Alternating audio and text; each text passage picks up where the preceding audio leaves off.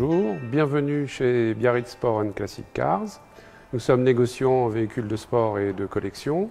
Vous êtes aujourd'hui à Anglette, dans notre showroom, où nous avons fait une sélection de trois véhicules de sport et de collection, un des années 50, un des années 60 et un autre des années 70.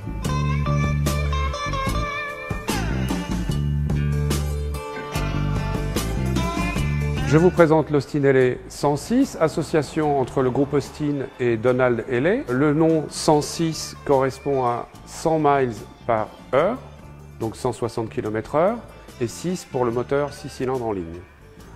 Euh, c'est un modèle caractéristique de la fin des années 50, avec des lignes très arrondies, des jantes à rayons. C'était un modèle qui était réservé à l'exportation au départ de la Grande-Bretagne, donc plutôt pour les États-Unis.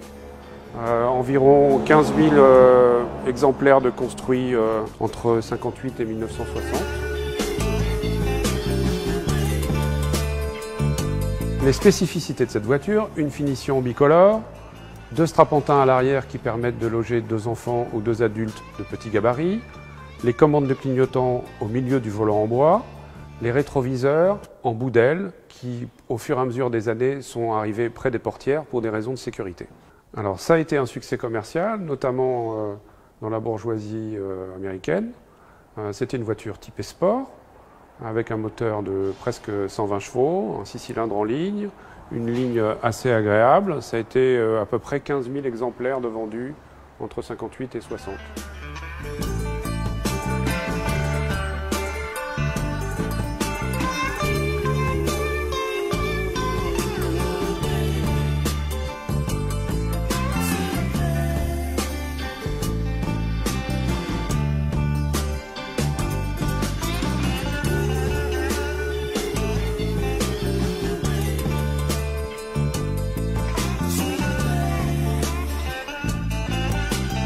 Je vous présente ici la Porsche 911 qui aurait dû, pour la petite anecdote, s'appeler 901, mais Peugeot ayant réservé le zéro central, Porsche a décidé de l'appeler 911.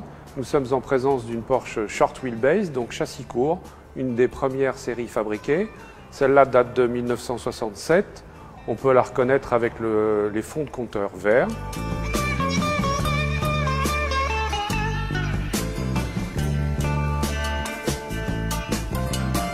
Modèle mythique de la marque Porsche, la 911 est toujours commercialisée de nos jours avec la nouvelle version qui s'appelle la 992. L'architecture du moteur est restée inchangée jusqu'à nos jours. Il s'agit du 6 cylindres à plat monté en porte-à-faux arrière qu'on appelle vulgairement le Flat 6. C'est un modèle très recherché par les collectionneurs car c'est un modèle châssis court, donc short wheelbase, euh, avec une cote aux environs de 150 000 euros.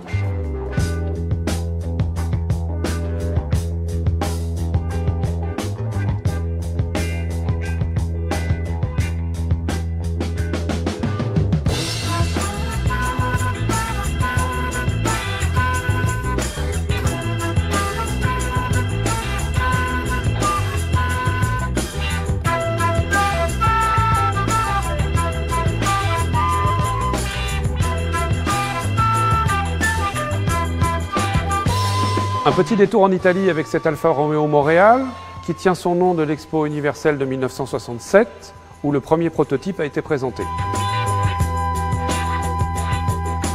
Un modèle typique des années 70, carrossé par Berton, dans le même esprit que la Lamborghini Mura.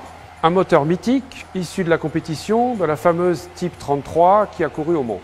Cette Montréal est propulsée par un V8 de 2600 cm3 qui développe environ 200 chevaux. La production a été inférieure à 4000 exemplaires, ce qui explique sa rareté et donc sa cote.